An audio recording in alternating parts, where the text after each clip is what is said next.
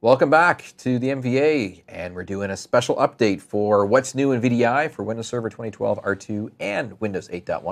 My name is Rick Claus, Senior Technical Evangelist, and I'm joined once again by Adam Carter, Product Manager for VDI. And we already covered in the previous session a bunch of stuff related to server improvements and enhancements to the underlying platform and how uh, VDI and RDS leverage those guys. That's right. Is it leverage or leverage?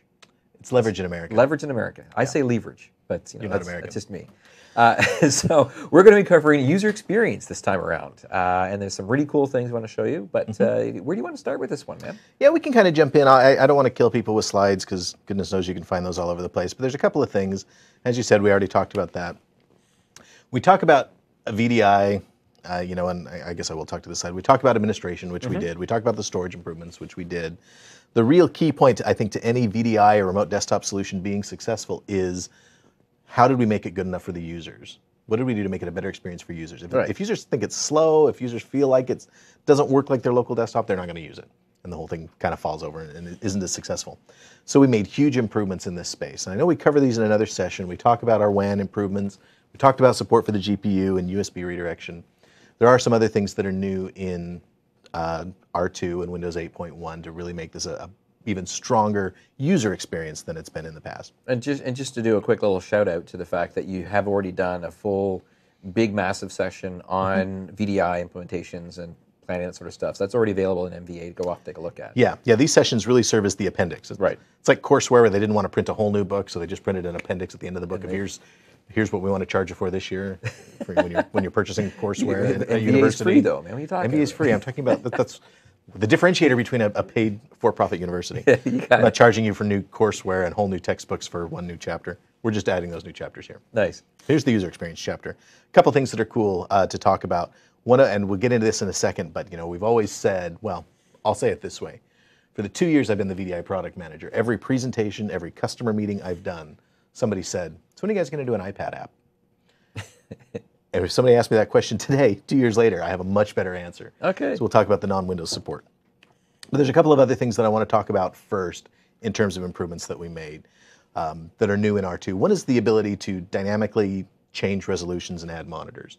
So if you had a remote desktop session in the past and, and then you plugged in a second monitor locally, we didn't automatically extend to that new monitor. If you plugged into a projector and your resolution changed, we didn't change that. We fixed that in R2. I'll show you a demo of that. I mean, I no longer have to disconnect and reconnect back up again. Yes, exactly. Oh my goodness, that's you just made my day. Would you like to see a demo? I actually would love to see Let's- a demo let's of demo this. this. This hits me all the time because of my demo boxes. Yeah, I, I like to uh, scroll bar hell is how I like to refer to it. I just want to show you. I've got a couple of full screen sessions here. Here is my R2 server, Yep. And uh, I've also got a session up. Uh, I've also got a connection to an R uh, 2012 box, brand new clean box that I've just configured here. Notice no R2 on the title here. Okay, so we've got the old and the new, basically. Yeah, here's the two. And I'm going to do, um, you know, one of those things that made the video producers panic when I'm like, and I'm just going to do a resolution change in Okay, the so middle this of my this session. may look strange on your screens, just a forewarning, and, and also to, to warn the editor coming up afterwards. Don't do this at home unless you're running R2. But this this is this is not an uncommon scenario. Potentially, I'm I'm plugged into a a- you know I'm, I'm docked at work and I'm working and I've got a really big monitor and then I pick my laptop up to go somewhere else and I drop to a different resolution. Mm-hmm. Um, so I'm going to kind of emulate that by just uh, Let's go old school, 1024 dropping down to 1024 by 768. Now, as you're aware, This probably we talked about this. pretty gross on your screen. when I switch to my and and uh, maximize my 2012 machine, we're now in scroll bar hell. Oh, okay, you, you can't even see the whole thing. scroll over here. up. Yeah. if I want to get to the, the start bar, I gotta scroll uh, this way. Th- this is when I typically would sit there these, and- I gotta scroll. Wring my hands and just, oh, I can't believe this is happening to me in front of all these people while I'm doing a demo. Yeah, and you're like, okay, well, I'll just you know you, you, you're you've been done a lot of presenting like these. You're like, well, we'll just wing it. I, nobody will notice I'm con- Yeah. to constantly scroll. Right? It's it's not a great experience. Let me show you what it looks like on R2. I'll switch to my uh, R2 machine now. And when I maximize it, you'll see just a flicker, and it automatically snapped to the new resolution. Oh, Okay, so we're at the lower resolution and it automatically resized everything correctly to be able to Mm-hmm. to fit the screen, and you can make all of our eyes easier right now by flipping back to the proper resolution, and it'll just magically work. In fact, it will. So I'll go ahead and Switch back to our 1366, producer friendly resolution. There we go. Keep those changes. And you'll see now when I switch to, when I go back to this and maximize my, uh, my R2 session, again, Ah. just uh, automatically snapped it to that new resolution. That's just goodness. Isn't that a great thing? I love it. And this works, you know, another common scenario is let's say I'm working on my Surface device or my other tablet type device and I rotate it. Oh, okay. That's a resolution change. We detect that resolution change, we'll snap to that new resolution that way too. Very nice. Kind of a cool new feature. Likewise, if I wanted to go in, add a second monitor, Yeah. basically I now have an extra monitor. I can now make the thing span the monitors. automatically span to both monitors. yeah. Nice. We, we can do, I think we, we actually, people ask how many monitors can you support and it's, it's like 16 monitors we actually Six. support. 16 monitors? Yeah. I'm obviously working in the wrong department. Yeah. 16 monitors. If you go into air traffic control and you do it apparently over remote desktop, you'll need that. Uh, the other now the other thing that we talked about is improved remote app behavior. Mm-hmm. And remote apps are the ability for me to take an application here and instead of remoting that whole desktop like we generally do, just remoting an application. Right. So I can see that the bars are slightly different, so I know that's actually running as a remote app. Yeah, so there's a couple things. So this is this is actually running off a, uh, a Windows Server 2012 box. Put that in there just to keep track of it for myself. And this looks pretty good. It looks like a local window. You know, it feels for the most part like Excel.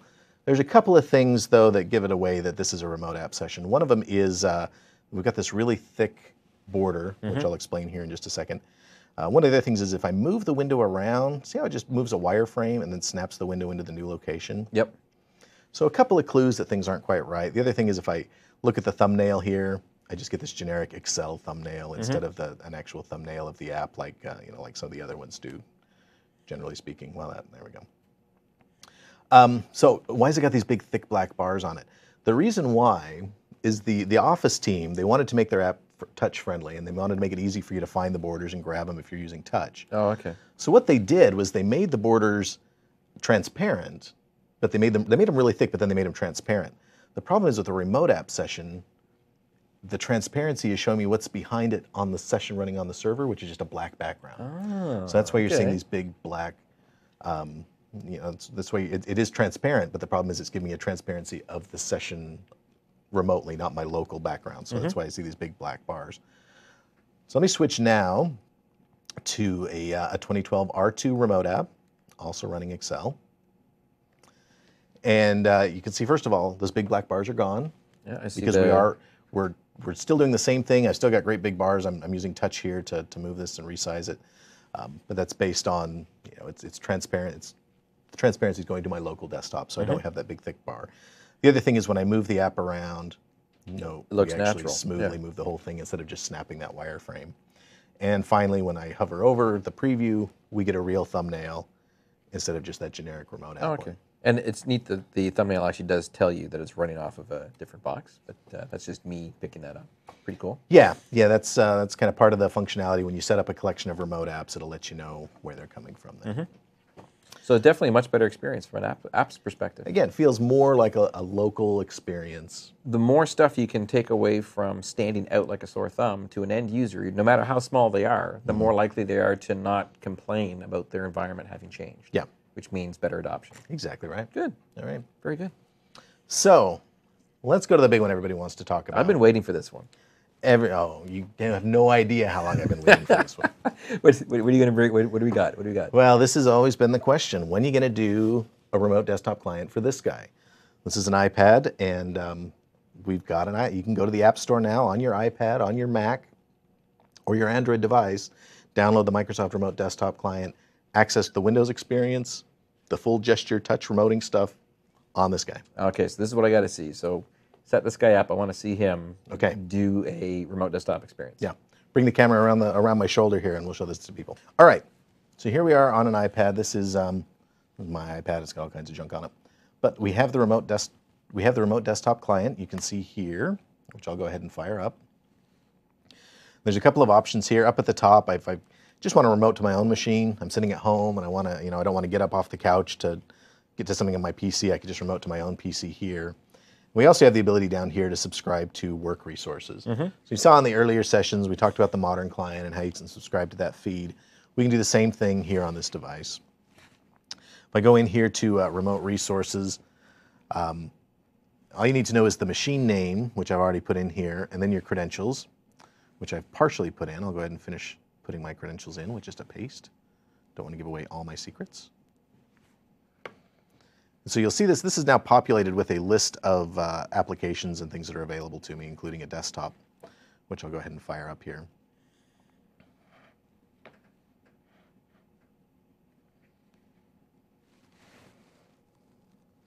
So what's happening, it's creating a login on a remote server. I've got a, an RDS server that I'm connecting out to right now. And this one's going off over the interwebs to be able to get to it. Yeah. Proper authentication and everything. So it's going to take a little bit of time to come back. Okay, so it's logging in to an R2 server here. So I can frame this a little. Okay, so look, here's a Windows desktop running on an iPad. A couple of things that are kind of cool here. We have full Windows gesture support, so it means I can pinch to shrink things down. I can do the, the, the swipe down here to get to all my applications, for example. Scroll through these just with a touch. Mm-hmm.